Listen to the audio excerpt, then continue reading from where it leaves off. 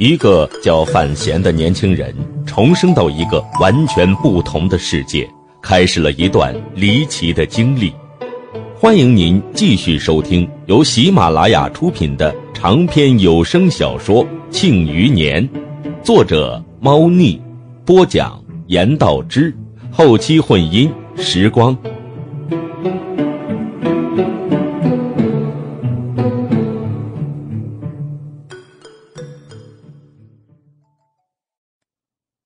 六百二十七集，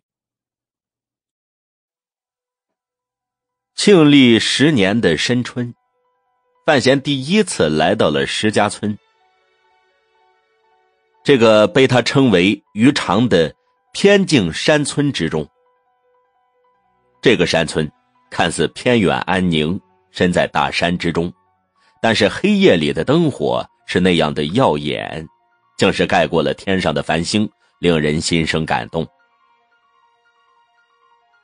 石家村肯定不止十家人，从大道通往大山坳的道路上，那些在田旁泉畔的农户便远远不止十家。那些农夫也不是真正的农夫，而是用来阻断大山内外、保守山中秘密的巡视者。范闲能够穿越这些防线，轻而易举的进入石家村，那是因为这些防线，这些在安全上格外细密的安排，本来都是他一手做的。集合了监察院二处和六处无数官员图纸智慧的防守安排，确实十分厉害。当然，范闲在做计划的时候，监察院的官员们都只知道一些片段，而根本没有想到。这些图纸在大陆的东北方，竟然在一个小山村的外围变成了现实。沿着山间的小路向上走去，刚刚行过一方池塘，就看着那些密密麻麻、错落有致的建筑群，在星光下袒露了真实的容颜。范闲心头微动，驻足于此，暗自感慨。心想，即便是有外面的人们偶尔误入此地，只看外方的建筑，恐怕也只会认为是某个大富之家在山中修的巨大庄园。他一停步，身形便显露在月光之下，然后便有十几把弩箭从黑暗里探了出来，对准了他。范闲低着头，将自己的容颜隐在黑暗之中。又将背后的连衣帽掀了过来，遮在了自己的头上，才取出腰间的一块小令牌，对着那些杀意森然的弩箭亮了亮。一个长弓模样的人从黑夜里走了出来，小心翼翼地靠近了范闲，接过那块小令牌，认真地看了许久，才挥了挥手，让身后黑暗里的那些弩箭消失。长弓在前领路。领着范闲绕过那些庄院之间的青石道路，来到一处偏僻的地方，确认了四周没有什么别的人注视，这才双膝跪地，跪了下去，激动说道：“参见提司大人。”范闲微笑看着他，这位启年小组的第一批成员之一，也是当年王启年帮自己收纳的好手，已经两年多未见。这位密探明显没有想到小范大人会忽然出现在石家村里，激动难抑。这几年，辛苦你了。范闲看着那个长工说道：“我来的消息，暂时不要透出去。先带我去瞧瞧几位老掌柜。”是。长工低身恭敬行礼，忽然开口说道。老大人前两天也来了。范闲心头一惊，问道：“什么时候的事？”“呃，八天之前。”“快带我去见他。”两个幽暗的身影在星光的陪伴下，在石家村的建筑群里穿行着。范闲忍不住用余光打量着这些与一般民宅高度有异的建筑，看着那些。特意设计的门窗以及通风设备，暗自想着：不知道里面是空的还是已经布满了物事。虽然这方村庄里的一切都是经由他提供的银子一点一滴建成，但毕竟干系重大，所以这两年里，范闲与这里一切都割裂开来，包括他在江南最忠诚的那些部属，都不知道他在大陆的某个角落里居然藏了这样一个村庄。这也是范闲第一次亲自来此，所以内心在感动感怀之余，也不禁有些好奇，不知道。那些人、那些银子、那些图纸汇合在一起之后，两年多的时间，究竟将这村庄变成了什么样子？二人行到村庄深处的某间小院里，房间中还亮着昏暗的灯光，映得范闲的影子十分瘦长，打在石阶之下。范闲对那名起年小组密探轻声说了几句什么，那名密探笑了笑，便退了出去。并没有安排什么人来此地看护。如果真有人能够深入石家村，威胁到小范大人，那么再派什么人来也是多余的。范闲在房外整理衣衫，走了进去，对着书案后方那位面相中正严肃的中年人双膝跪下，行了一个大礼，称声说道：“孩儿见过父亲。”退任的户部尚书范建，没有在儋州城内孝顺老母、携柳氏游海，却是出现在了东夷城与北齐结合的这个小山村里。这真是一个令人意想不到的画面。范尚书看着身前的儿子，心头的惊讶一掠而过，马上变得复杂起来，温和一笑，将他扶了起来。父子二人两年多未见。本也当得起范闲这个跪拜之礼，只是钱尚书心知自己的儿子并不是一个喜欢跪人的角色。从这一跪之中，也约莫察觉到了一些什么。只是范建没有开口去问，范闲也没有说，自妹妹的口中以及当年的故事之中，自己已经猜到范府为自己的生存，曾经付出过怎样惨痛的代价。父亲，你怎么自己来了？范闲将父亲扶在椅子上坐好，看着父亲头上的那些隐隐白发，心中不禁唏嘘起来。算着年辰，父亲也应该在家乡养老，只是因为自己的事情，这两年里还是累着老人家了。尤其是父亲亲自前来石家村。令他感到十分的诧异。范建微微一笑，说道：“为父虽然人在儋州，也可遥控此地建设，但是三年来日积月累，水滴石穿，石家村的准备工作已经做得差不多了。如果你真有此地重修一座内库的魄力，”我不来亲自坐镇，是无论如何也不放心的。第二座内库，原来这座偏僻的石家村竟承载了范闲如此大的野望。打从京都叛乱时起，范闲便暗中营救了好几位庆余堂的老掌柜出京。加上他主持内库极久，早在几年前便将闽北地里的内库技术宗要抄录了一遍，再加上他如今的财力、权力，以及他这个穿越来的灵魂里先天的东西，如果上天真的肯给他十年的时间，说不定他真的可以让这座偏僻的小山村变成第二座内库。内库是什么呀？是支撑庆国三十年军力强盛的根基，是庆国皇帝用于补充国库民生的不尽源泉。毫不夸张的说，内库就是庆国最强大的两大源泉之一。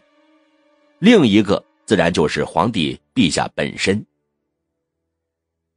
可是范闲居然想在庆国之外重修一座内库，毫无疑问。这是范闲此生所做的最重大的决定。这个决定如果真的变成了很多年后的事实，整个天下都会因为此事而改变模样，而庆国再也没有笑傲世间的天然本钱。范闲究竟想做什么呢？如今天下大事纷繁，而且这件事情是动摇庆国国本的要害大事，所以这两年里，范建与范闲父子二人做的极为隐秘，进展也极为缓慢，只求不要引起天下人的注意，并没有奢求速度。如果将来在庆国的国境之外真的出现了第二座内库，不想而知。这会给庆国的国力带来何等样强烈的打击和损伤？所以这件事情，范闲瞒着天下的所有人，只敢小心翼翼的与父亲在暗中参详着。您离开儋州久了，只怕会引出议论。范闲没有急着与父亲商讨第二座内库的问题，而是微感忧虑的说道。范建虽然已经老了，但看皇帝陛下借剑杀人，途尽百余名虎卫的手段来看，陛下对于这位自幼一起长大的亲信伙伴也并不怎么信任。想来儋州城内一定有许多宫廷派驻的眼线。如果范建没有甘心在儋州养老，离开儋州的消息应该马上传回京都。你的监察院在儋州输了一遍。为父的人，又输了一遍。范建望着儿子，温和笑道：“陛下，确实看上去不可战胜，但他毕竟不是神，他的精力有限，不可能掌握天底下所有细致处的变化。尤其是，你又在暗中瞒着他。至于我离开儋州。”本来就是去东夷城游荡。前任尚书的笑容显得有些有趣。为父入户部之前，本就是京都出名的浪荡子，如今已经归老返乡，去东夷城这座繁华的地儿画画美人儿，也是自然之事。陛下总不能因为这个原因就大发雷霆啊！可是还是不妥呀。我只是偶尔过来看看，盯一下进度。范闲看着父亲，在担忧之余，又多了一分歉疚之意。他本来就不愿意父亲以及陈萍萍掺和到这无比凶险的事情之中。只不过，关于石家村的事情，一开始的时候，他根本毫无头绪。从一片空无之中，如何能够重建一座内库？您刚才听到的是由喜马拉雅出品，严道之为您播讲的长篇穿越小说《庆余年》。休息一下，欢迎您继续收听。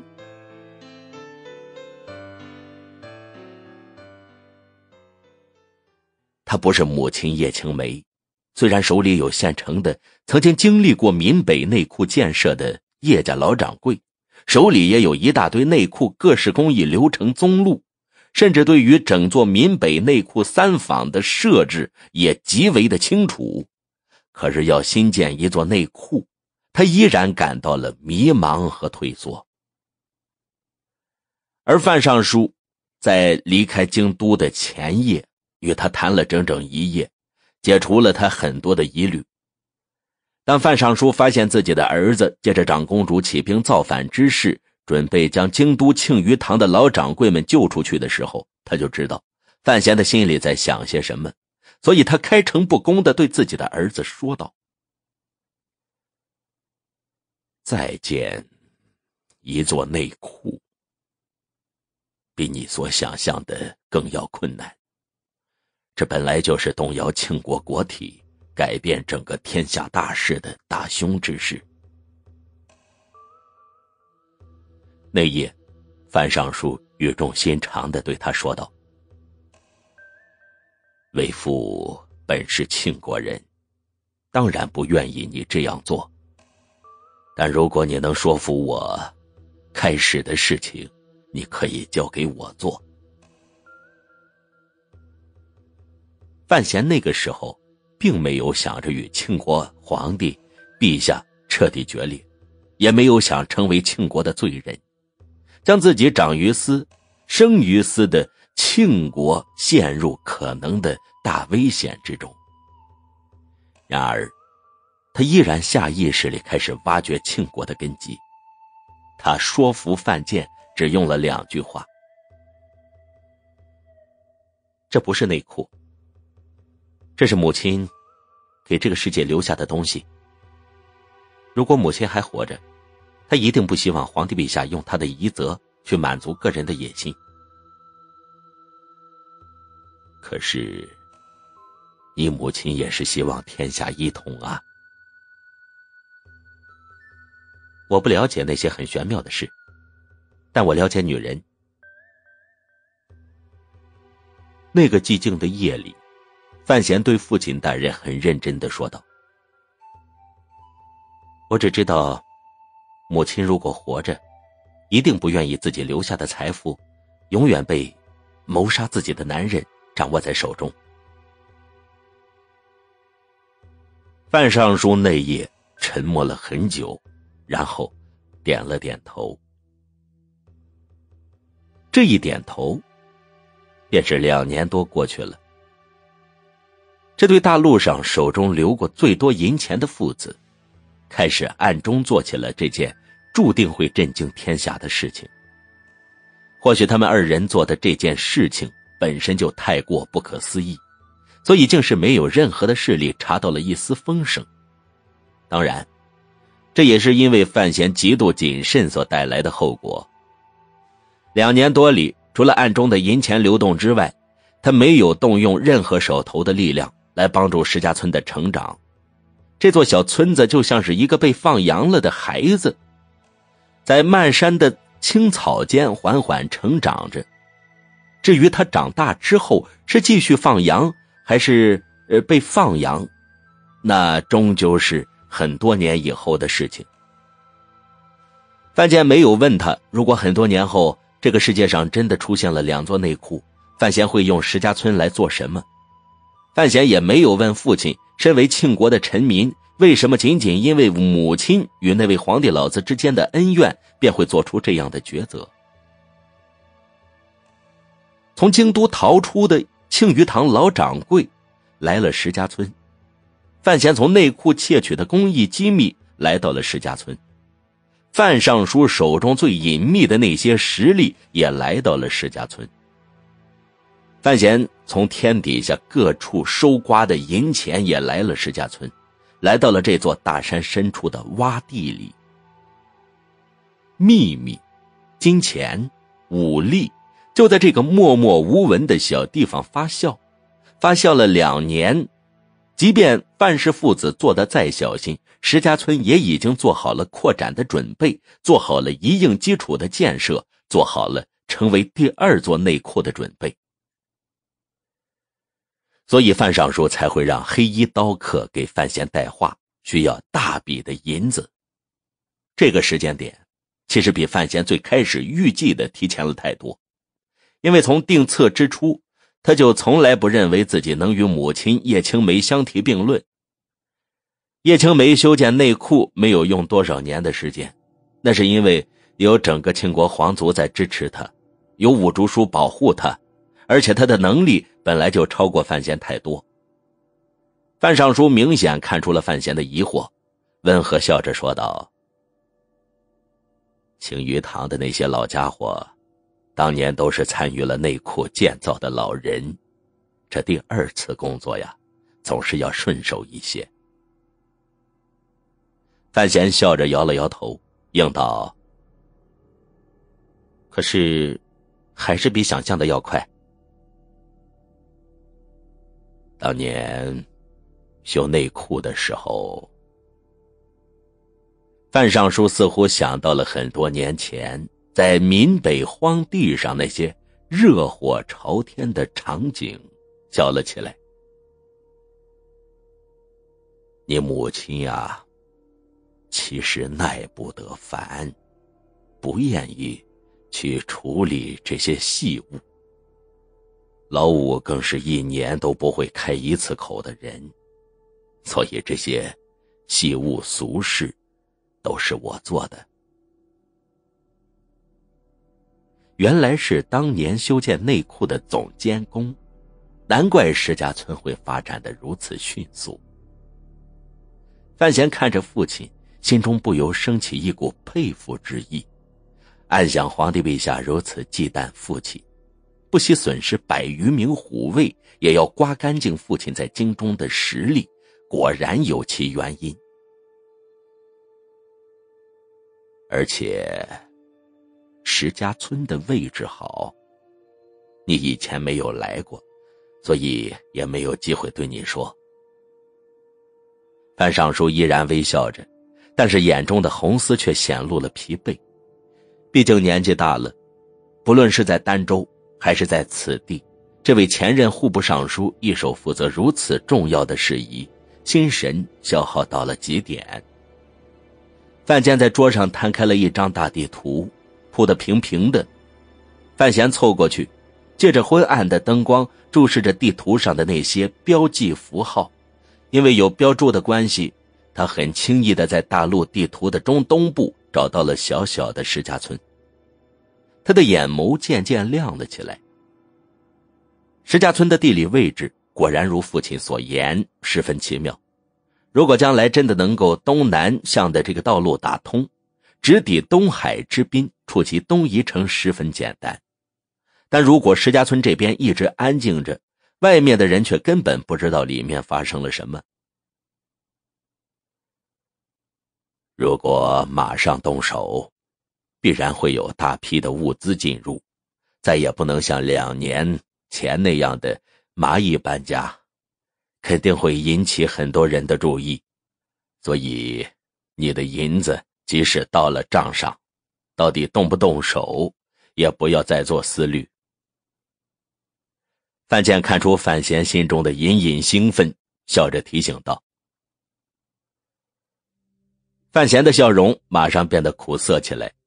如果真要把石家村变成闽北的内库，招工是其一，大量物资进入是其一，简易高炉及那些金刚设置更是不可能瞒过傻子的眼睛，只怕所有人都会猜到这里面在做什么。”而以内库对于庆国的重要意义来说，只要朝廷发现了丝毫异动，皇帝陛下定会毫不犹豫地发兵北攻，不惜一切代价强攻东夷城，毁掉石家村里新内库的雏形。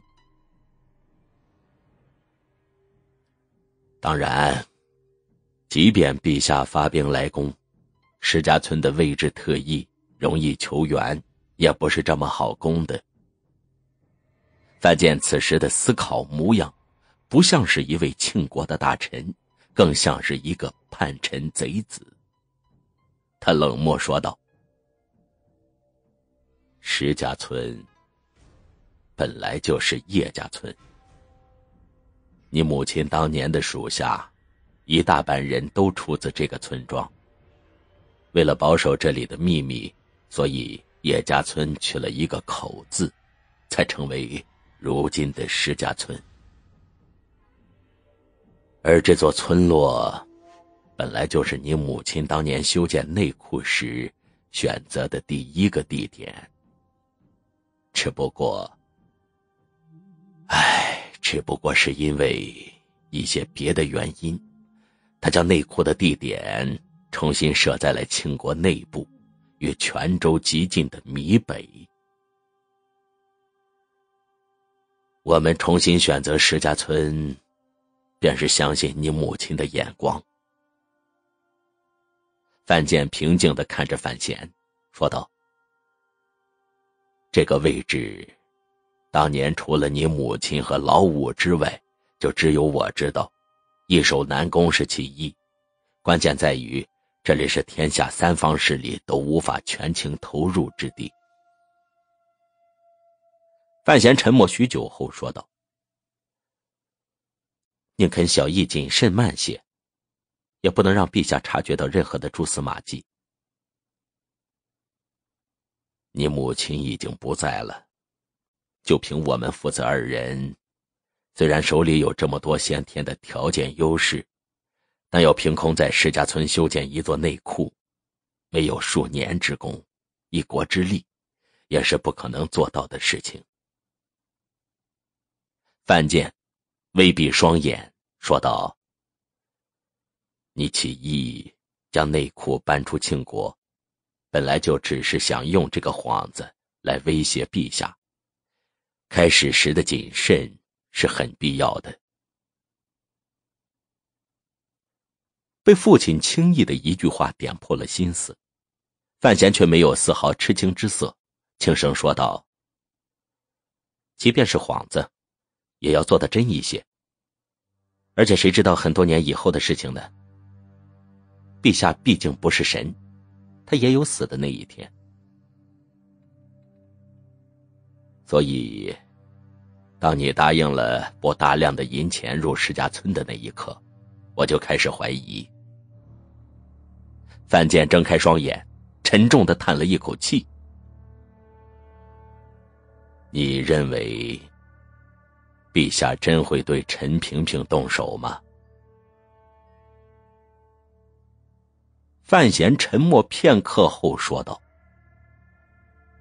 我不知道。”范建的眼光冷厉的逼着他：“如果陛下真的动了呢？”范闲沉默，没有回答这个问题，只是想着。自己布鞋所踩的石家村，这座村子现在还很安静，但将来一定无比光辉夺目。不管庆国朝廷内部的事情怎样发展，无论天下间会不会有一场大战，但范闲心中总是保持着一个态度：内库不是内库，他自某事迢迢而来，应造福于当世之民，而不能成为某人千军万马的后勤部门。想必叶青梅也是这样想的。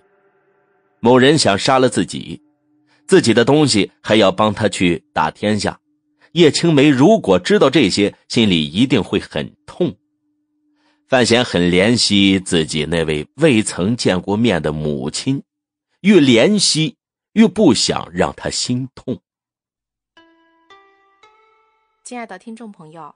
感谢您收听由言道之播讲《时光后期婚姻》的长篇穿越小说《庆余年》。如果您喜欢这个故事，欢迎点赞、转采和打赏。本集故事就到这里，感谢收听。